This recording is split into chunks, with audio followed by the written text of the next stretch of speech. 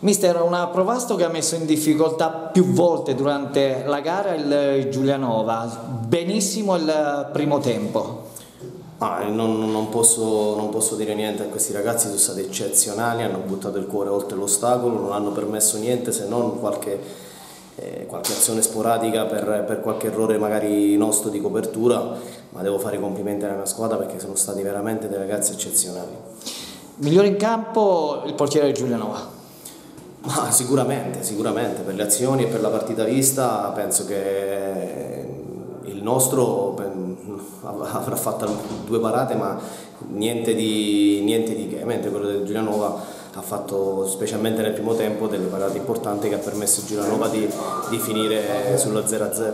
Eh, mister, è chiaro questo è il calcio d'agosto, serve per rodare i meccanismi in vista del campionato, però tornando su questa partita ci sono due episodi dubbi, uno nel primo tempo e poi nel finale di gara.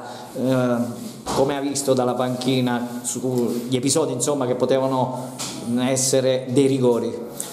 Ah, no, no, non è che potevano essere dei rigori, penso che sono dei rigori abbastanza netti. E ho chiesto delucidazione all'arbitro e mi ha detto che l'ultimo non l'ha visto proprio, che non ha visto col sole, che non, non ha visto e questo mi, mi, dispiace molto perché comunque i ragazzi meritavano una gioia più grande di quello che, che comunque un pareggio che secondo me per quello visto in campo ci sta un po' stretto. È una squadra da completare?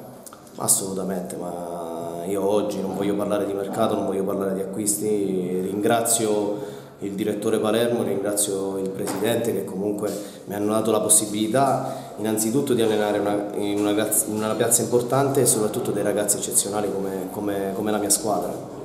Quindi sicuramente ci sarà da pedalare, da soffrire, ma saremo pronti a battagliare campo su campo. Mister 0-0 qui all'Aragona di Vasto, un Giulianova che ha sofferto nel primo tempo, un po' meglio nella ripresa, però è chiaro che questo è il calcio d'agosto e il Giulianova è stato diciamo, costruito appena una settimana fa.